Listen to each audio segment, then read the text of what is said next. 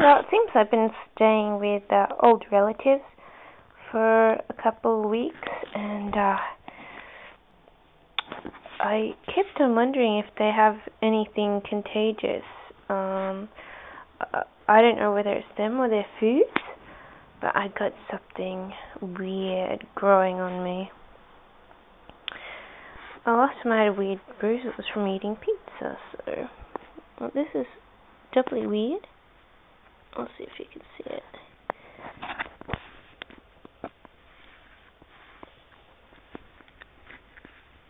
No, you can't see it very well.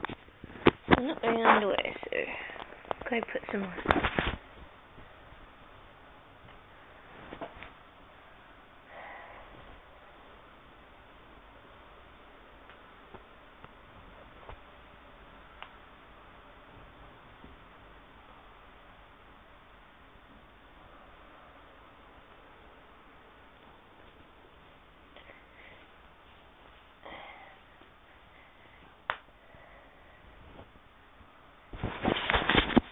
Thought you'd be able to see it, but you won't see it until I have my leg real high. And that's sort of what I'm worried about. What is it? You know, is it a bruise? Something more? Something from the food? I don't know.